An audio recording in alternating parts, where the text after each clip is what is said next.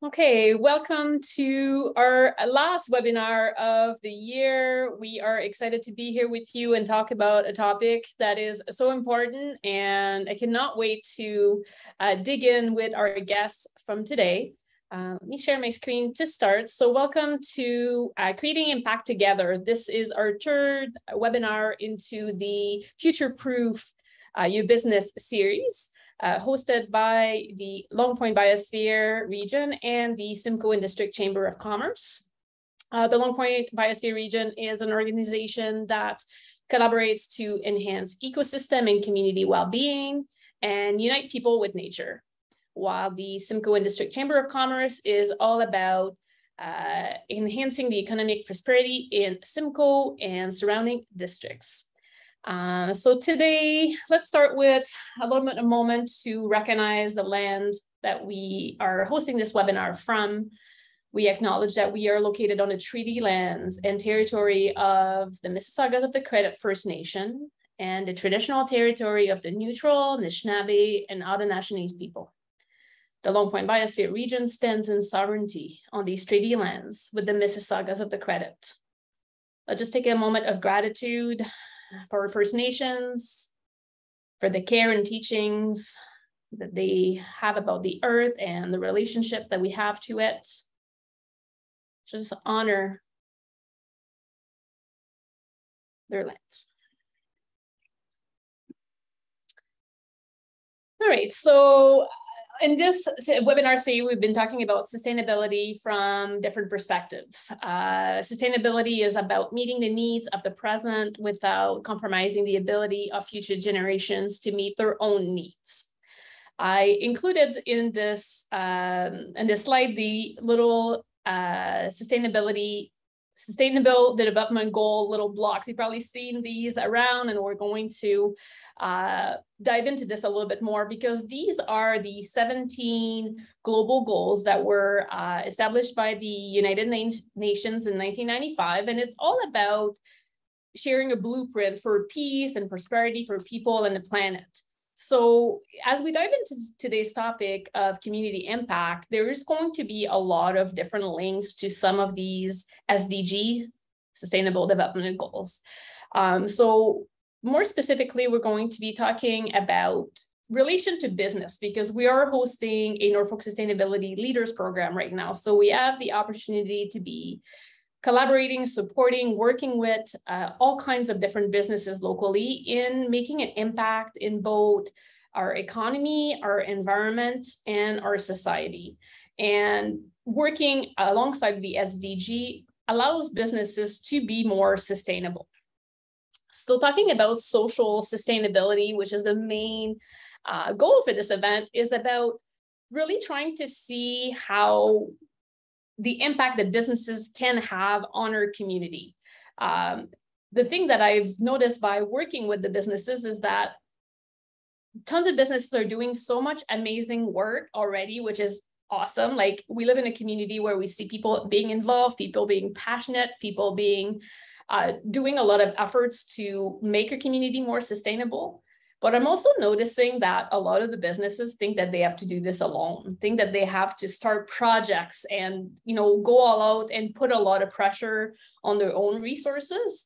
And the idea today is that we want to talk about like how we can create impact, uh, how we're shifting from you know businesses that were just you know writing checks in the past as as their community impact to working together with organizations, other businesses, individual in creating this social impact. Uh, so we we brought in uh, a really great panel today, and this session is a little different than the other ones, and is going to be a little bit more conversational, uh, a little more our ability to ask questions and understand from different perspectives uh, about how we can work together to make community impact. So let me introduce uh, our panel. So first we have Adam Berry. Uh, Adam Berry is a professional community project manager. He's a grant writer and advertising consultant. Uh, also sits on the council right now. Congrats, Adam. Um, we also have Shelby Vosborg. Uh, she is the project manager in Norfolk for Indwell and has been connected to supportive housing for the last 10 years. We also have Graham and Steph from Nova, Nova Mutual. Uh, and it's really, we decided to invite them because we see this business in their community as one that really support uh, great projects and have uh, already made a lot of community impact. And we're excited to kind of get their perspective, ask questions, and see if we can get inspired as businesses and organizations to also move forward towards more impact.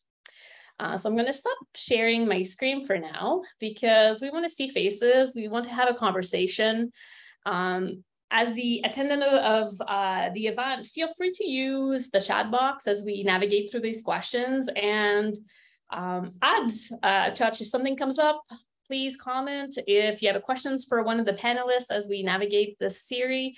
Uh, put it in the in the chat box or feel free to use the raised hand functions and we can certainly uh, allow you to ask your question that way as well. So uh, I only give a really brief introduction. So I'm actually going to uh, give the panelists a little bit of a chance to introduce themselves a little bit more and also to uh, share with us um, how they've been involved in community impact. So we're, uh, I'm going to go, uh, we'll go to Shelby first. If you want to just introduce yourself and give us a little bit of perspective on, on your connection to community impact.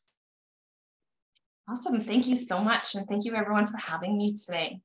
Um, so my name is Shelby Vosberg. I am the program manager for Indwell in Norfolk. Um, so for those of you that don't know, Indwell is a Christian charity that creates affordable housing communities that support people seeking health, wellness, and belonging. So in Norfolk, we have two programs. We have our Hambleton Hall location, which is uh, the home to 35 residents, and our new building, Dogwood Suites, which is the home to 57 residents in our downtown core.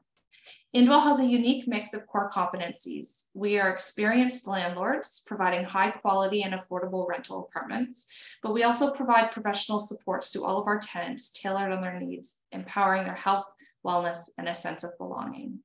We are developers of real estate, new program models, and community housing solution that our, that our community so desperately is needing. Our approach is rooted in our values that all people have inherent dignity, and deserve to be respected, and that we de demonstrate love for our neighbors, and that hope is the foundation of all of our actions. So thank you again for having me today. Awesome. Thanks for your introduction, Shelby.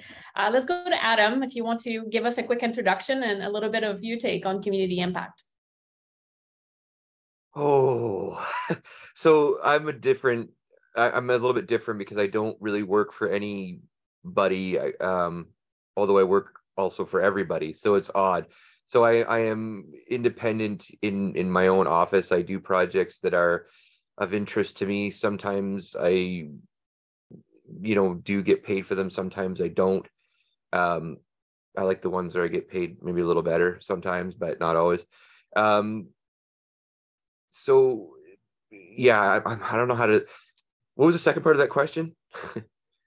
like you know what, what's your involvement in community impact like we know you're, you're already like i think as a people that live in norfolk or do work in norfolk we've obviously heard your name before uh, yeah. Uh, you're involved in a lot of different different things but maybe like just like what is what do you bring to community impact or? So so i guess the very super broad strokes is uh what you know so people say like uh you know someone should do something.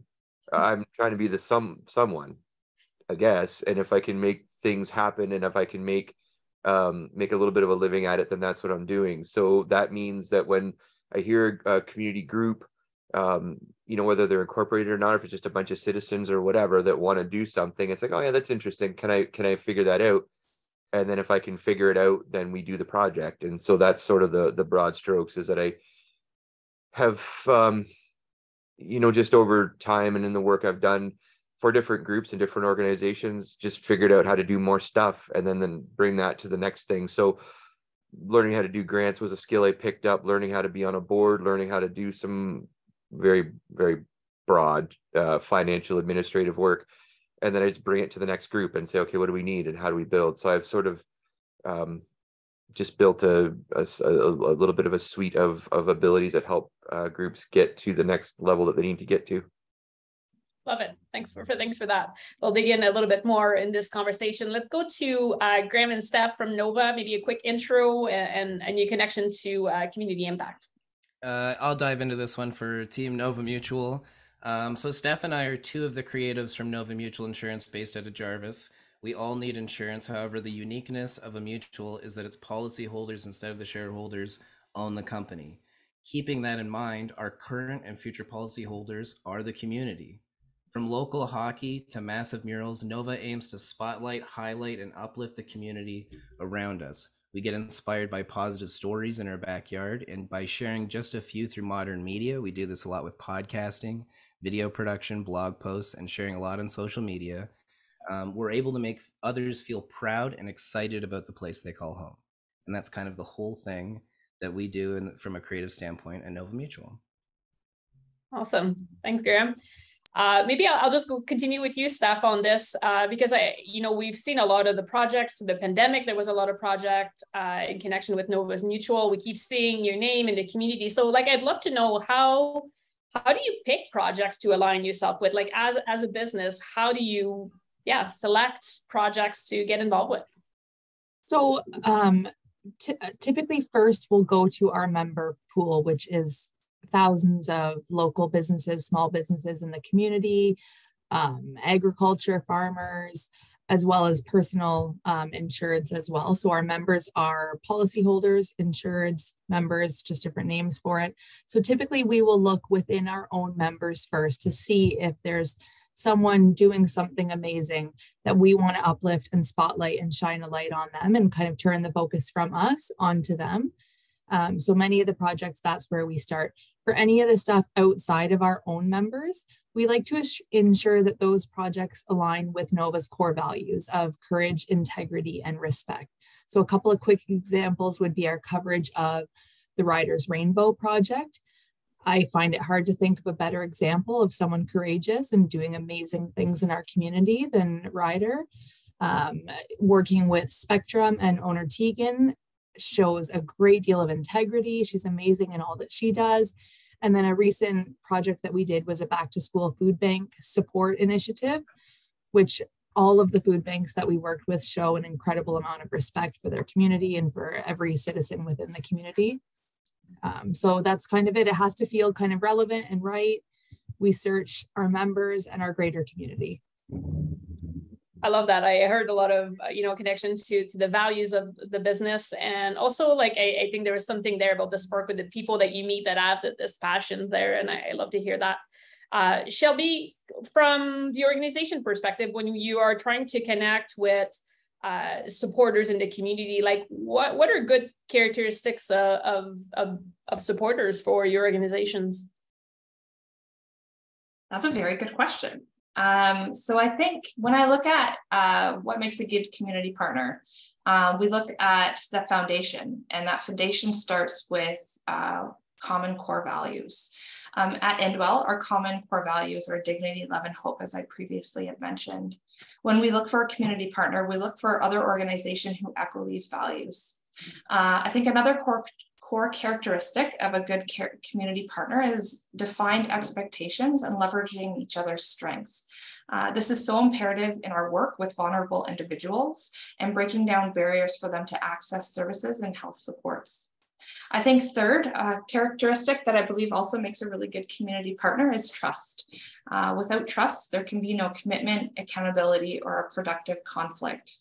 I also think that partnerships are about focusing on what can be built together in Norfolk, at times it can be very challenging accessing the resources that many other urban settings have. Therefore, with an understanding that we can be better together, partners can lean in to create and help build a support network through collaboration. We see this all the time at Dogwood Suites. We have struggled to bring Ministry of Health dollars to the region. Uh, we there have, therefore have found other ways to partner um, with other agencies to provide uh, health access for our tenants. So we have the assertive care treatment uh, team that is a commercial tenant of ours at Dogwood Suites. They support people struggling with mental illness and complex needs through intensive treatment and rehabilitation services. We also have a pharmacy moving into another commercial space. If we can't find the Ministry Of Health dollars to be able to provide medication distribution for our, for our tenants, then uh, we work with a pharmacy who's readily be able to be on site for our tenants and help with their medication management.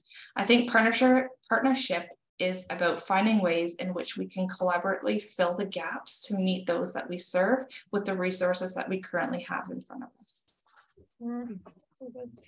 Uh, Adam, do you have a, a, different perspective? Like we heard from the corporation and the organization, like for you to define projects that you want to support, obviously if you're being hired, you know, that's a little different, but you also mentioned that sometimes you, you just jump in on projects that you're like, what, what calls you to a project, I guess is. Actually, um, just I, I don't mean to quibble with you, but actually I don't always just do them because I'm being hired. I, I I've found that chasing um I don't know how to say this. So I guess my decision is just projects that feel good or feel like they're going to be valuable or feel like um, they're going to make a difference and maybe uh, rock a boat a little bit, but not tip it over. I, I like those, you know. Um, so when I'm deciding, it, it's it's usually it depends a lot. Some sometimes a lot on who asks. so with the Ryder's Rainbow Project, for example, like I just kind of knew that family a little bit, and and uh, and and I had the, Ryder's older brother uh, for baseball. Like I coached the brother there, and so I knew the mom. And and when she asked if I would help uh, do that, like well, yeah, because I know you guys and I know Riders are good kids. So that was that was that simple. Is that I just I just knew them, and I, I mean I also believe in the cause too, but. And, and I think it's an important thing, but it was really about more making that person to person impact with with people that I actually already kind of knew and cared about a little bit. Um, with you know and so another one that i did recently was with the ball diamond lights in port dover. That was the same thing like i'm a coach and i and i and i know those kids and i want to make sure that they have uh, you know better lights and things are safe. And so that's how i pick is that you know do i know a little bit about this group? Do i know a little bit about what they're trying to do? Or if i don't know anything about them is it something that i'm interested in that i think will, will make a significant difference? Um, and it doesn't I guess affecting lots of people is nice, but that's not the decision. It, it's usually, um, am I going to change a person? It could be one person's life in a significant way if I help them, and and that's really the answer. So, I don't know how many people the crosswalk helps, but that's not really important because it means a lot to that one family. I don't know how much the ball diamond lights, how many people they help, but there might be 100 kids that play on them. Is that enough?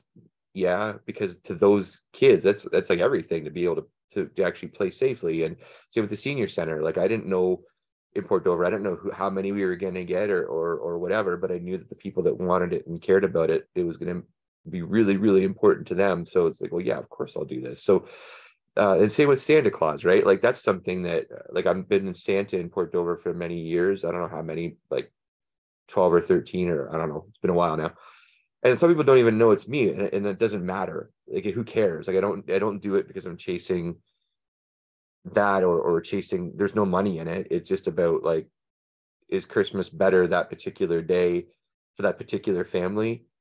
Yeah okay well that's what i'm doing. So it really is just about the value that it has for the people that are um, affected by the project. That's that's that's really the beginning and the end of the selection I think there was like a lot of I, I don't know. I love this topic. It makes me, you know, makes me feel right. Like it's so true. Sometimes we like just think about like the biggest project and the biggest impact. And what you're describing right now is like it's not about that, right? It's it's about making impact that that yeah, that feels good to the person that's um yeah, it's changing, you know, a life. And that's that's more than good enough, right? That's that's amazing. So, one more quick thing. I know everyone's got time, but, but I guess the part of that for me is my hope is that if I do those things, so so this project with Ryder and the crosswalk, it's not just about the project itself, it's about the individual. Is Ryder going to do more things or do great things for someone else because of the support that the community showed to that family? Probably.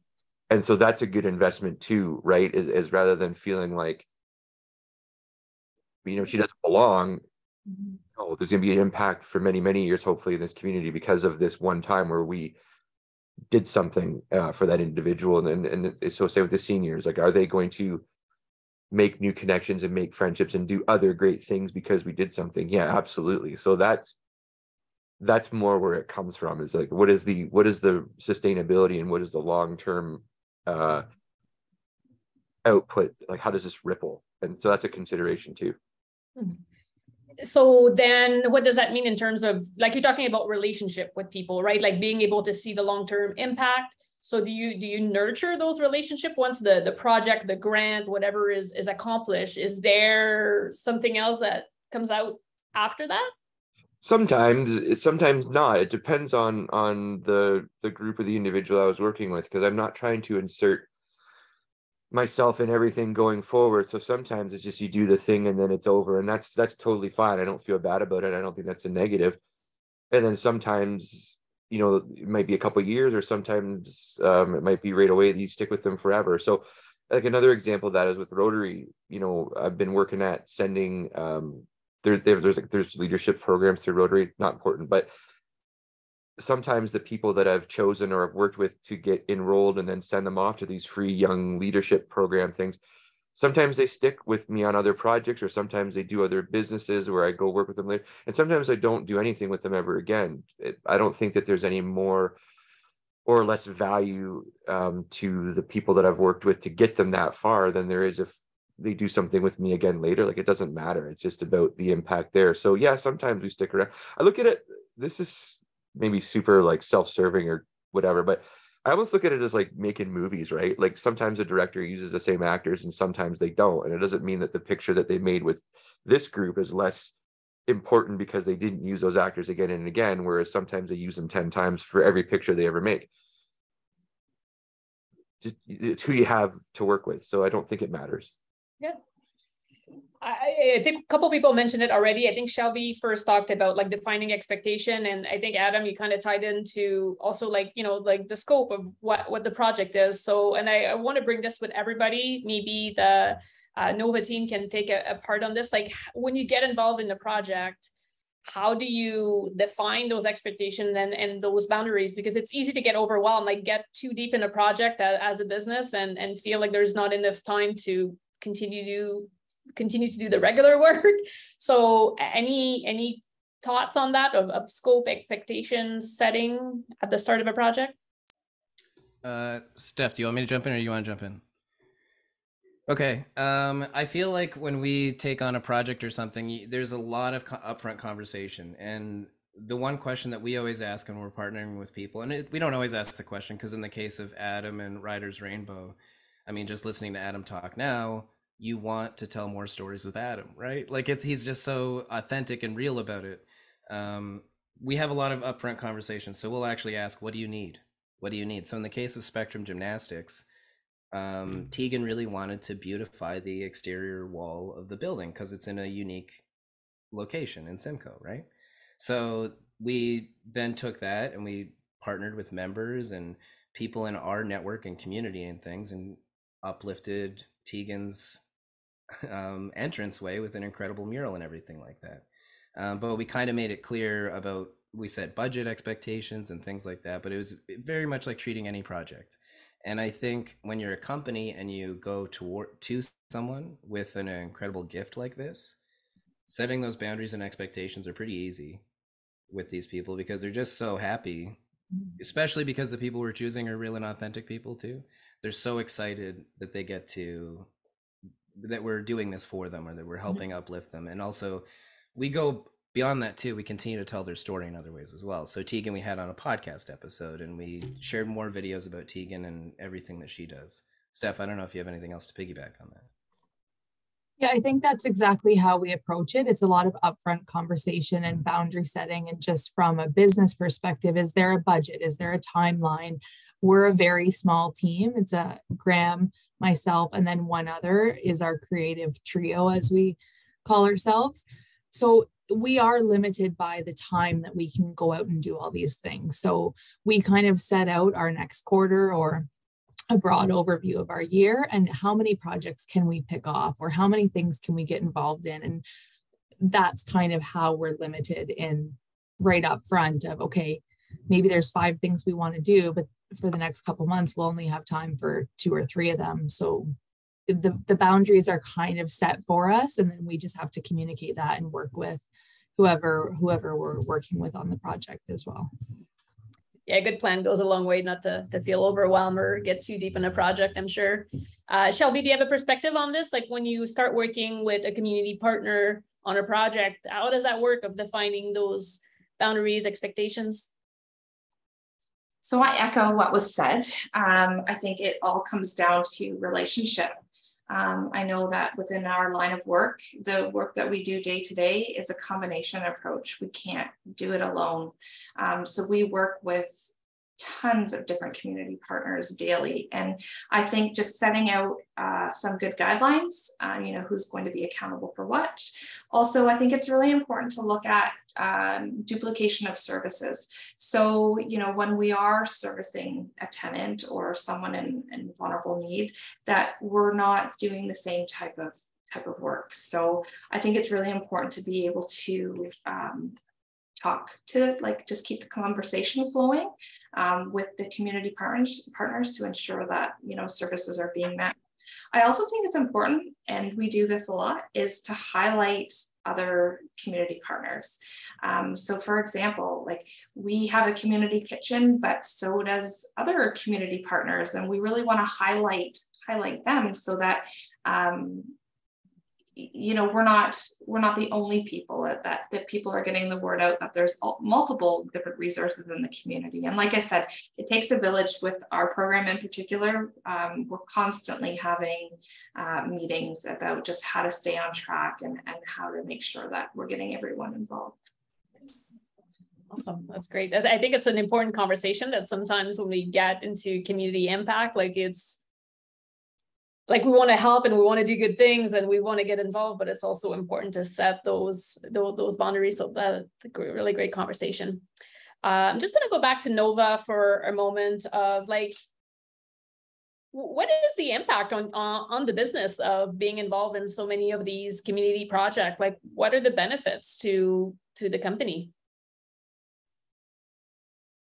I'll step in there graham. Um, i think it's a win-win for all involved. It as much as we're uplifting our members or the different community uh, projects that we talk about, a lot of what we do is through these pieces that we put out on social media or a blog post or uh, a podcast.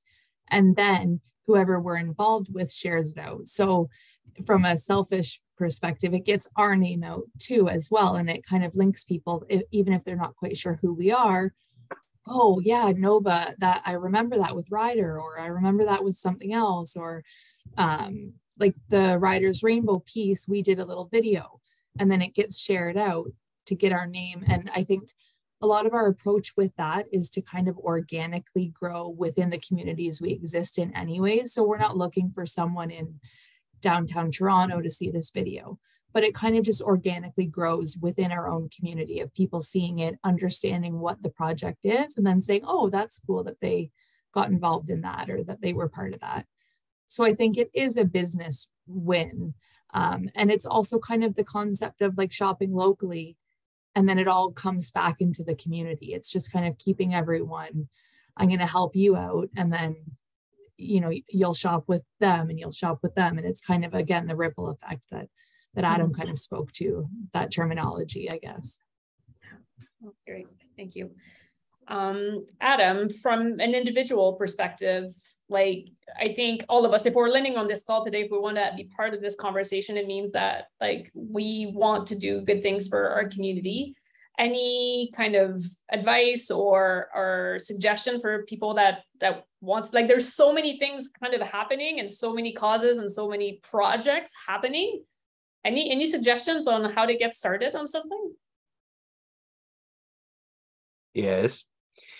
Um, okay, I'm glad you added that little bit at the end about starting because there's two there's two there's probably more than two, but there's for sure two ways to do this. One is getting involved with something that's already going, and that's that's really good. But then there's also the how do you actually like initiate something and do your own project and, and make that work. So uh, I'm I'm more of a um, it's not that I just I don't have any problem with the things that are already going. I, I like doing those too, but I, I have been better at the other ones because I don't need to tinker too much with the, what's already working.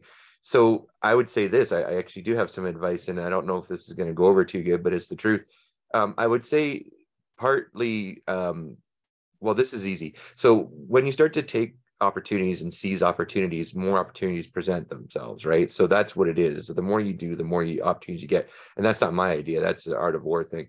But it's true that the the the, the more you do, the more you can do. And and so I would say just start as, as wherever you're comfortable. And if it's small, that's okay because you'll you'll build over time and you'll you'll gain more knowledge and people will trust you more and people will know that you're going to be the person that delivers. So I don't think that there's ever something that's too small or, or it's not worth doing, it's always worth doing. So I would say that's one way to get started. Um, another way to to get started um, is to accept. And I don't mean accept it where you tolerate it, but just understand that it might not work and be okay with it. Um, you know, don't go in looking to fail or, or saying it's not a big deal, but you know, don't decide to not do something just because it might not work. I, I've failed spectacularly um, publicly on more than one occasion, and it it's awful and it's not a lot of fun. But it's like, what am I just gonna, do anything because it might not work? That doesn't. So I mean, I know there's different comfort levels for people, and I'm not suggesting that if you don't do that, there's anything wrong with what you are doing. But I would say that push your your um, your comfort level a little bit, maybe take a risk that uh, feels risky to you, but try it. You might like it, and you might be surprised by what you can achieve if you just this sounds like I feel like the rainbow should shoot over my head. But like it, it's but if you if you don't ever try, how do you know, right? So I would say that. And then I also would say like um don't listen to idiots. Like it, there's going to be people that complain about what you do no matter what, right? And just because someone's loud or because you perceive them as popular or like being important in the community, they can still be wrong. Um, so I would say like if you know someone's wrong or if you believe in what you're doing and, er, and if you you know like with that again with the crosswalk i don't mean to beat the dead horse but like so many people blasted us for that when it was first announced that we are going to work on it. And like what are we going to not do something good because of like comments? Like i who cares? So i think but i mean i understand that if you've never faced that before that is daunting. Like it is awful to have people that don't know you or don't know your project like saying just awful things about you online or sending you messages or doing like it's horrible. It is absolutely horrible. So you have to decide like if you want to make a change, does that matter? And if it does, if it does matter to you and if you really don't want to deal with it, like totally fine. Do something in the background, that's fine. But if you actually like want to go out and make projects happen that maybe haven't been done before, like you're gonna have to just accept it. And people say, oh, like have a thick skin. What I'm saying is kind of that, but it's not that because thick skin is like you listen to it and don't let it bother you. What I'm suggesting is don't even listen to it. Like honestly, like don't even like acknowledge it. Don't let it in. Don't process it and go, well, geez, that may be true, but my thick skin is protecting me. Like, no, like just don't be friends with those people on Facebook. If they're your friends and they drive you crazy, like delete them. Like if if you don't need them, you don't need to listen to people like at all. And um like listen to smart people that will help you but don't listen to people who are just like you're you shouldn't do this because of whatever. It's like so um i would say that. And and i'll tell you this I, why i know that that last part works is because i was coaching hockey a few years ago and i had a little guy who was just pee-wee so they're like 11 12 he was on the bench and he wasn't crying but he had those like frustrated tears like stop being mean to me tears and i said like what's wrong and he's like oh this kid on the other team keeps saying i suck and is calling me names i'm like oh, oh okay I said, like, you know, do you suck? He's like, no. And I said, well, are you the things he's calling you? No. I said, man, that kid sounds like a real idiot. He's like, yeah. I'm like, why do you care what idiots think? And he was immediately fine. As soon as it was like he didn't have to listen to them, he was like, yeah, all right. And I've had this kid every year since then. And he has never let anybody into his head since that moment. And so as soon as I said that to him, I'm like, why don't I follow my own advice? So I would just say that, like, just do it. You know, if you know that you're doing the right thing, don't worry about comments and go do good work. I love that. There's sometimes when we break it down for in a kid's perspective, we like have our own light bulb moments. So thanks for sharing that, Adam. I kind of I, I don't want to get too more on this topic, but from a business perspective, Nova was also involved in the Ryder's Rainbow, and you were just saying, Adam, there was some like kind of some haters on it. From a business perspective, was there some hesitation about participating in in a in a project that you know attracted to some level some some challenging comments and some different not so welcoming attitude at times any any take on that nova So I think when we brought up this is kind of unique because this is how we this is another way that we get involved in community projects as well. Um, we take we really pay attention to what's going on in the community, what's going on in the news, and a lot of the team members actually bring forward a lot of these projects. Steph is the one that brought forward Ryder's Rainbow. She was going to community meetings and was very aware of everything that was going on.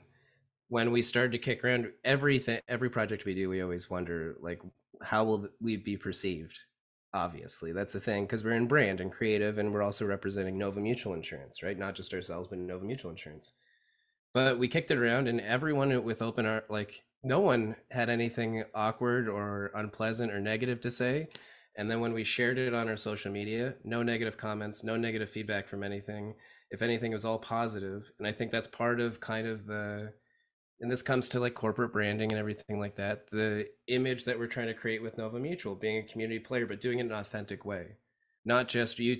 You started the meeting off talking about the giant check photo, and the we're not just doing the giant check photo. We're changing the perspective of the whole thing. If anything, we'll take the camera and turn the camera completely on you and your story. And Nova Mutual is maybe just a graphic in the corner on the whole piece.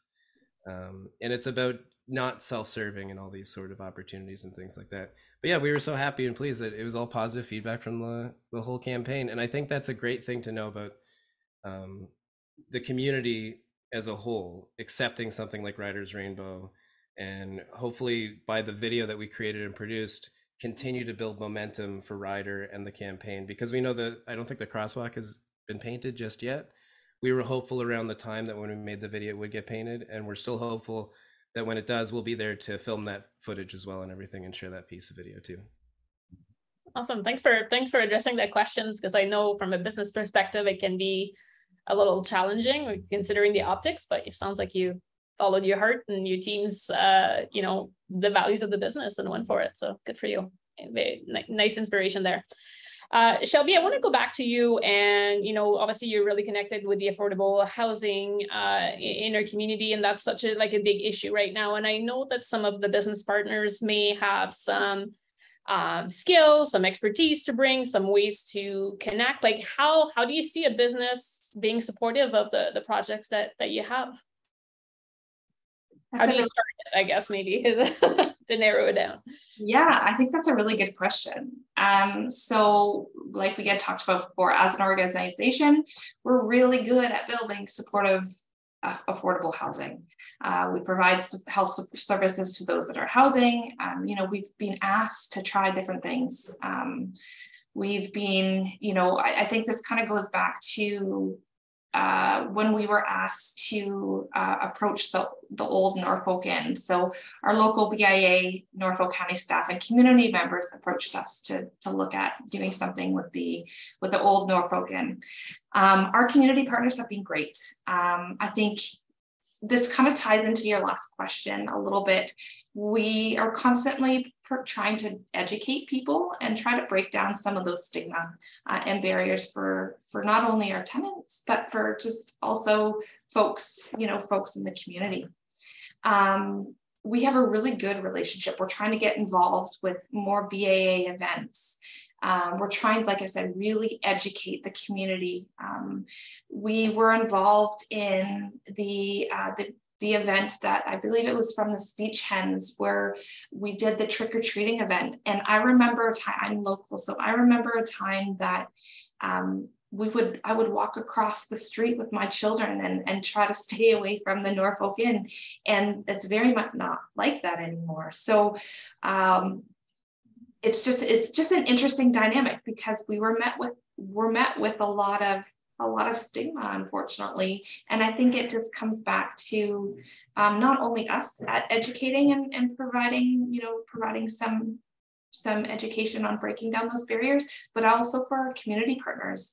And you know they're the first people to advocate for us um, and i think that just goes back to relationship and also you know seeing the difference that we've made in the community so Great. I, I love how you, you know, brought the people because I, I I've addressed a question talking about like housing, the housing issue, and then you really like brought in the people that use your services right now and and and these humans that are part of your community and it's so much more than just the housing piece is is about the people and the education of the people that you know, we all live in the same community.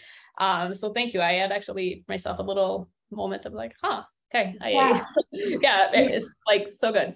Um, all right, so let's go back to Adam for another question on like I know you have worked on like so many different project, different roles in the project. Like, is there maybe aside from Ryder's Rainbow, because we already talked about it, like a project that you just like love the ripple effect that you just like feel so good about? Not necessarily about your involvement, but just about the project on the community level.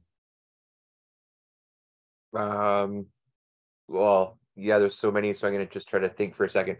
Okay, so what I can talk about intelligently, or what passes is intelligent for me, is the Port Dover Senior Center there. So that was another one where um, it was just a group of, like a small group, like it was like three or four, um, you know, older ladies.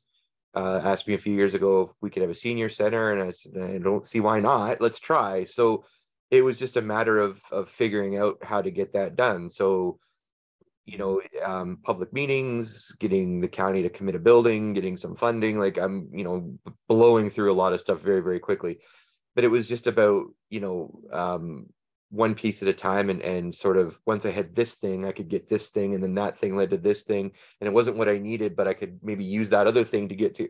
So it was just um, waiting for the tumblers to all fall, and they eventually uh, more or less did. But anyway, so where we are today, from nothing, there's now more than 300 members. Uh, my goal for the first year was 200. Uh, we are are nine months in, and we're at 300. So that's quite good. Um, you know, there's lots.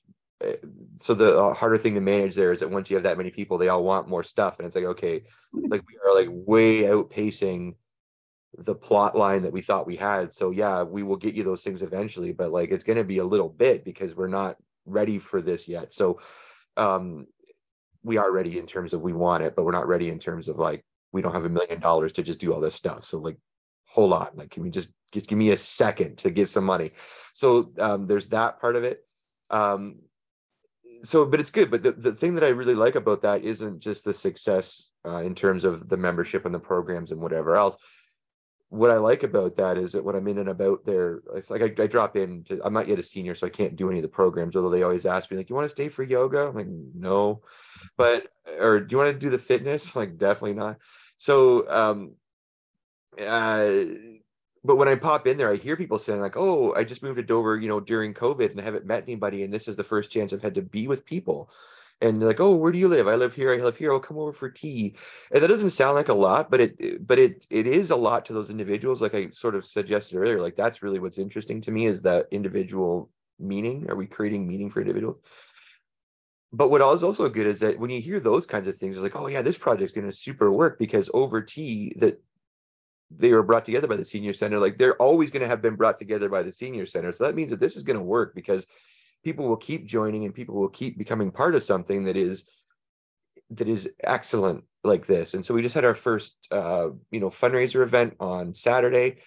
Um, you know it was profitable. We didn't make a huge amount of money but the idea is that people like they show up and they want to participate and they are really supportive and they've bought into this idea that yeah we all need to come and you know buy a couple couple cocktails and and and dance a little bit at this thing to make it look good so that we continue to have more events later. So that was really good. So that's sort of the mm-hmm. project that keeps me thinking and keeps me working is is that one. And i'm really i'm, I'm really pr- proud of that one. And there's other ones i could speak to but that was on my mind this morning. So that's it. That's the end. Yeah yeah connection is so important and in a time when we feel more disconnected than ever like that's a huge impact so great job on that. That's awesome. Uh uh Steph or graham any like one project that just feel like the ripple effect or, or perhaps even like above what the initial expectations were or something that just makes you really excited to be part of? I i have one Steph. you want me to jump in it's one of the first ones that I got to work on when I started with Nova Mutual. So my position here is brand production specialist. I take care of virtual production, podcasting, videos, creative things like that. My background is TV broadcasting. I worked at CHCH News for so long. Um, but during COVID, there was the Remembrance Day special or the um, presentation out in Hagersville. And they were still going to do the Hagersville ceremony, but no one could attend. Uh, however, Nova Mutual offered to broadcast it live through Facebook. So I took my entire computer setup and a bunch of cameras and everything and multi-camered it, one person, just me doing this whole thing and it got B-roll ready and everything like that. We didn't know how impactful this was going to be. Apparently, this uh, stream of the Remembrance Day special was broadcasted in most of the local schools. People on the East Coast are watching it. People on the West Coast are watching it. People are sending in comments. We're so happy that we're able to see this from Hagersville this year. So and so is my family member. It was amazing to hear their name called and and mentioned. Um, so it's just that was an incredible thing, and we did that a couple years following. We kept doing that, and then the other one too. There's two is um, Shannon Adams. Uh, Together we fight for the stem cell transplant when Brad rode the horse through uh, raising money, and that was talk about a campaign, right? That's an incredible situation. So we produced a video. We donated money and all these sorts of things, but we produced a video, and the video was just called. I think the social media post is uh, "It's not every day a cowboy rides through town," and I remember shooting the video. I caught Brad in slow motion coming by Nova Mutual, and then I jumped in the car and I drove up the street, and I got the rest of the shots I could get and everything like that. But I I didn't know Shannon a handful of our team members know Shannon, so that's why we kind of supported this as well. But I got to meet Shannon with the camera and everything, and I remember from hearing the whole story, it was so special to me, and I put a lot of effort into that video piece, and then that video exploded it, from the Hamilton Police Force, and so many people watched and saw this video. I think it made a bit of the news and everything like that too. So um, you never really know when you're doing these things as a business how the spread, especially when it comes to social media or something like that. How many people you're going to touch? How many people will see it? Mm-hmm. I think that's it. I, I I love the stories, and I especially love that you're approaching community impact in a different way in terms of like you are an insurance company, but you're using that media capacity to make impact, which is not the first thought about how an insurance company would help the community but it's so great to use the resources that you have in your team to um, highlight those, those things and and uh, you know have the support of the, the community and bring some awareness and some education. So that, that's really cool. Sometimes i think we think as a business owner in the scope that we are just like the expert in while there's other resources that we have that might be helpful to community projects and that's like a good a really good way to look at it. So thanks for for sharing that um, Steph, did you have one that you wanted to share? Yeah, I'll jump into. Um, so this one is not um, in our geographical community, but it's still within our member community. We recently took a trip to Niagara Falls to visit a couple of members there and spotlight and highlight them. And they were both just so incredible. One is called Third Space Cafe, and the other is Grow Community Food Literacy Center. Both are just flipping on the head um, food insecurity and um, just helping the vulnerable in their communities, but just doing it in such a different way. The one kind of slogan to come through that day was giving people a hand up, not a hand out, really uplifting them to, to help them make great life choices and better their own lives.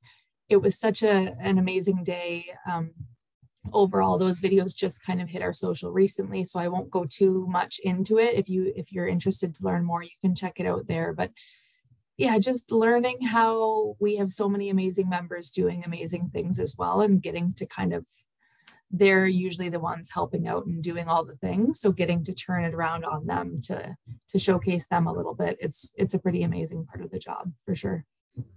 Fantastic. It feels good to hear the story um, Shelby, like we're, uh, Carol and I are sitting at Groundswell. We're looking at Indwell right now. It's a huge part of downtown Simcoe.